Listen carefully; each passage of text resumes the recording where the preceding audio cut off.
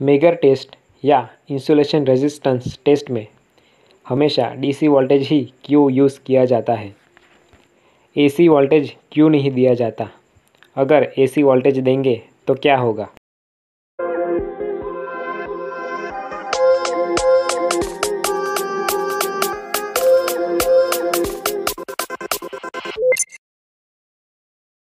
Hello friends my name is Ajay and welcome to my channel AJ electrical Gyan.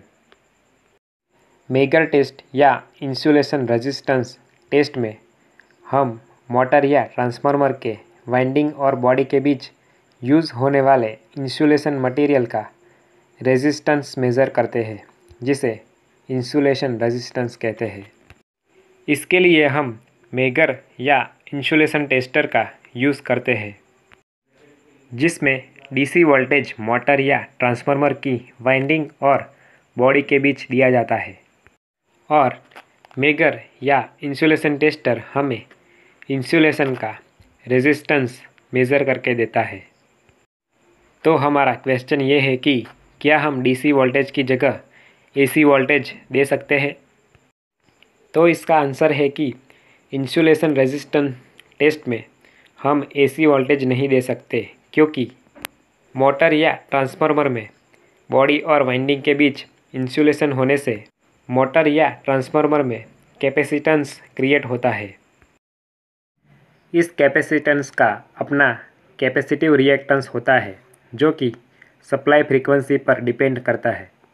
इस तरह insulation में material का resistance और capacitive reactance दोनों हाजिर होंगे, पर हमें मेगर टेस्ट में सिर्फ़ इंसुलेशन का इंसुलेशन रेजिस्टेंस चाहिए। पर जब हम वाइंडिंग और बॉडी के बीच डीसी वोल्टेज अप्लाई करेंगे तो वाइंडिंग और बॉडी के बीच रेजिस्टिव कंपोनेंट या इम्प्योरिटीज़ से रेजिस्टिव लीकेज करंट फ्लो होगा और कैपेसिटेंस डीसी सप्लाई को ब्लॉक करता है और as a open circuit act करता है। इसलिए वाइंडिंग और बॉडी के बीच कोई भी कैपेसिटिव लीकेज करंट फ्लो नहीं होगा। इसलिए मेगर रेजिस्टिव लीकेज करंट और टेस्ट वोल्टेज को कैलकुलेट करके हमें इंसुलेशन रेजिस्टेंस की वैल्यू मेज़र करके देगा।